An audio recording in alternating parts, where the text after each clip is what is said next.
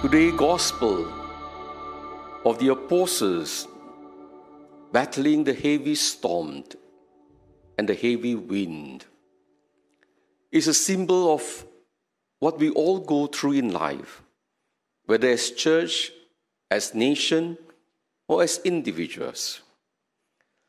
And so, my dear brothers and sisters, in the face of these challenges, how do we respond? Most of the time, we respond by fear. And fear makes us see things out of perspective. We lose objectivity. When we are fearful, we tend to conjure all kinds of imaginations that people are against us. Fear makes us think negatively and often in an exaggerated way. Besides fear, we are also driven by our anger, by our resentment of what is happening in our lives. Driven by fear, we tend to become impulsive.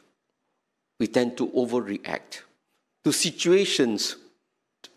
We tend to be impulsive in the way we act when we are fearful. When we are faced with challenges, instead of reacting impulsively, instead of reacting with fear towards our enemies, our so called oppositions, we must follow the path of our Lord.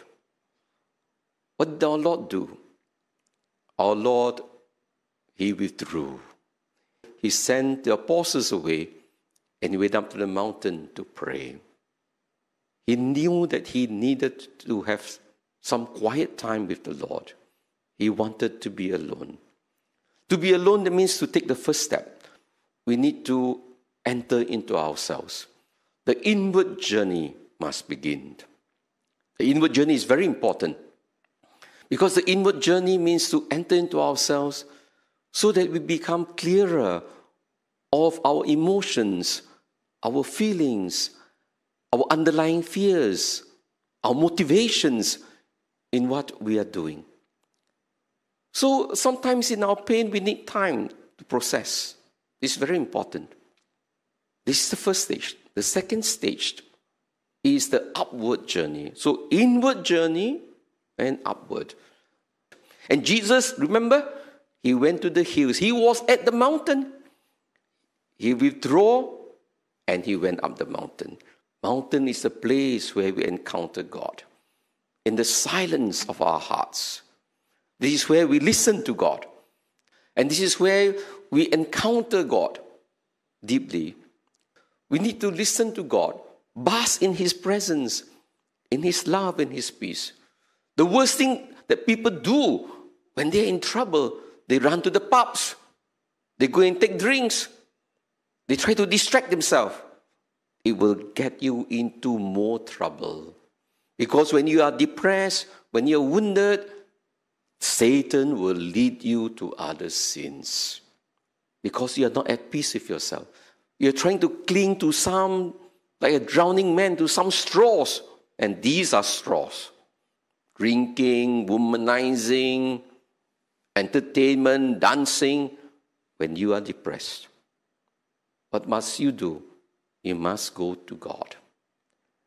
And finally, from this upward journey, what is the next step? Outward journey. So it's inward, upward, outwards.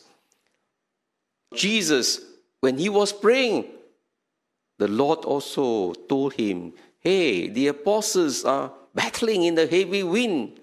After prayer, he went out to reach out to them. A person who truly prays never remains inwards. It's all not about yourself. After you know you have prayed properly, you move out and reach out to others. That is the whole process of healing inward, outward, outward.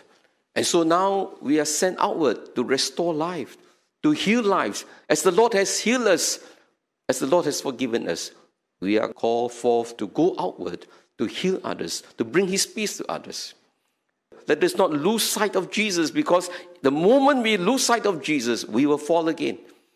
And so, in going out to others, let us keep our eyes focused on Him.